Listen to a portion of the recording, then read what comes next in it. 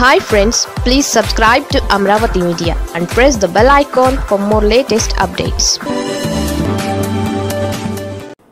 Jagan ప్రమాణ స్వీకారానికి ఏర్పాట్లు. విశాఖలో ఏం జరుగుతోందంటే ఏపీలో ఎన్నికల ఫలితాలపై ఉత్కంఠ కొనసాగుతోంది. వైసీపీ టీడీపీ గెలుపు తమదే అని ధీమా వ్యక్తం చేస్తున్నాయి. సర్వే సంస్థలు పోస్ట్ పోల్ సర్వేలు చేస్తున్నాయి. పార్టీల అధినేతలు విదేశాలలో సేద తీరుతున్నారు.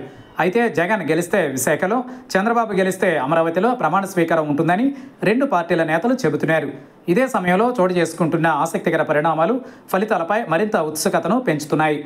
జగన్ పైన ఉన్న వ్యతిరేకత మూడు పార్టీల కలయిక తమకు అధికారం వచ్చేలా చేస్తాయని టీడీపీ నేతలు ధీమాగా ఉన్నారు.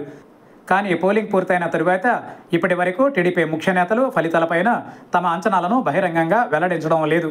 కూటమి ముఖ్యులు మౌనంగా ఉంటున్నారు.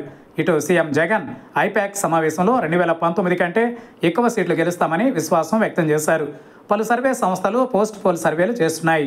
జగన్ రెండవసారి ముఖ్యమంత్రిగా జూన్ తొమ్మిదిన ప్రమాణ స్వీకారం చేస్తారని వెల్లడించిన వైసీపీ నేతలు ముహూర్తం సైతం ప్రకటించారు. ఇక ఏపీలో కీలక స్థానంలో ఉన్న ఇద్దరు ముఖ్య అధికారులు తాజాగా విశాఖ నగరంలో పర్యటించారు.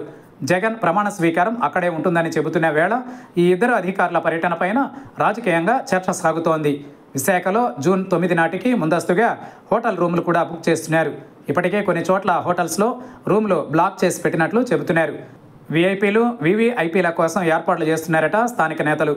రిజల్ట్ వచ్చాక ప్రమాణ స్వీకారోత్సవ వేదిక ఫిక్స్ అవుతుందని అంటున్నారు. అయితే ఆంధ్ర యూనివర్సిటీ గ్రౌండ్స్లో కార్యక్రమం ఉంటుందని విశాఖ వైసీపీ నేతల్లో చర్చ సాగుతోంది. ఇటు చంద్రబాబు గెలిస్తే అమరావతి పరిధిలో ప్రమాణ స్వీకారం ఉంటుందని టీడీపీ నేతలు చెబుతున్నారు. టీడీపీ కూడా పోటీగా అదే డేట్ ఫిక్స్ చేసింది. చంద్రబాబు సీఎంగా జూన్ తొమ్మిదిన ప్రమాణ స్వీకారం చేస్తారని గంటా శ్రీనివాసరావు ప్రకటించారు. ఏపీలో గెలుపుపై ఇటు వైసీపీ ధీమాగా ఉంది. అటు కూటమి కూడా అంతే నమ్మకంగా గెలిచేది తామేనంటోంది సర్వేల సారాంశాన్ని ఎవరికి వారు తమకు అనుకూలంగా మలుచుకుంటున్నారు. గతంలో ఎప్పుడూ ఈ స్థాయిలో కన్ఫ్యూజన్ కనిపించలేదు.